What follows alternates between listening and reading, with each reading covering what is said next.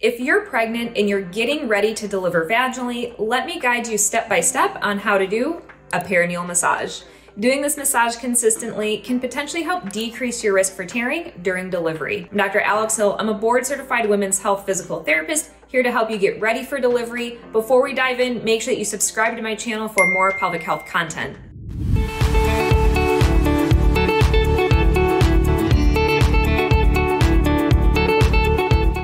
So before we start, always check with your medical provider first to see if doing a perineal massage is right for you. Some reasons that you do not want to do this massage is if your water is broken, if you have an active vaginal infection, thrush, or genital herpes. You should also wait until you're 34, 35 weeks pregnant to start the perineal massage.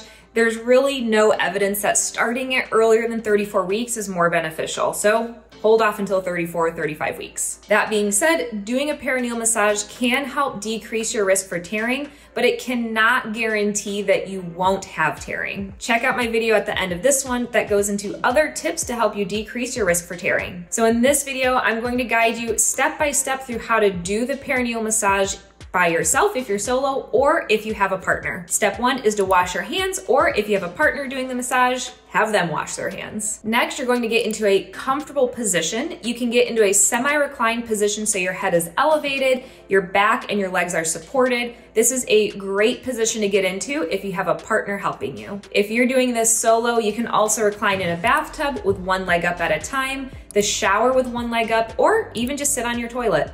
You're then going to use a small amount of either unscented water-based lubricant, I like this one, Good Clean Love, or you can use oils like a vitamin E, coconut or almond oil on your finger, so you're going to lubricate both your finger, thumbs, and you're going to lubricate the vaginal opening. You want to avoid using baby oil, petroleum jelly, and mineral oil. These things can irritate those tissues. So with your lubricated fingers, thumbs, and vaginal opening, you're going to place the pads of your thumbs at the vaginal opening and you're going to press downward to get a stretch.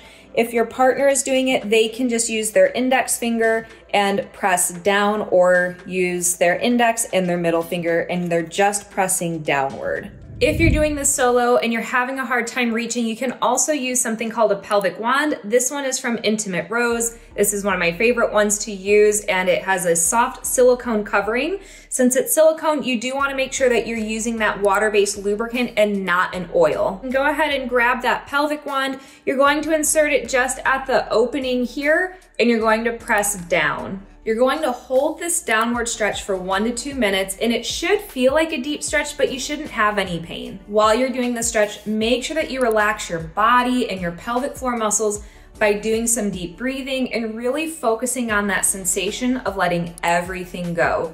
The more you tense, the harder it is to get that good stretch and mobility of those tissues and muscles. After you hold this stretch down for one or two minutes, then you're going to make a U shape and massage with your index finger or your thumbs. So pressing straight down, you're then going to move out and up along the sides. Again, that's with your thumbs if you're doing it by yourself. If you have a partner, they can use one or two index fingers pressing down and then coming out to the sides to get that U shape. So we're stretching down and out. And for that U massage, you can use the pelvic wand. You're still going to have it inserted, pressing straight down, but then you can do that U shape to get that massage that you need for the bottom part of the vaginal opening. Again, focus on that deep breathing and relaxing your body and your pelvic floor. You really shouldn't have pain. A little discomfort's okay, but that typically gets better as you continue to do this massage. So with that U massage, pressing down and out, you can do that for one to two minutes. So in total with stretching down and doing the U, you're really only massaging for two to five minutes. Keep up with doing this massage a couple days each week. I hope that you found this video helpful in getting ready for your vaginal delivery. Please like this video and subscribe to my channel for more pregnancy, postpartum, and pelvic health tips.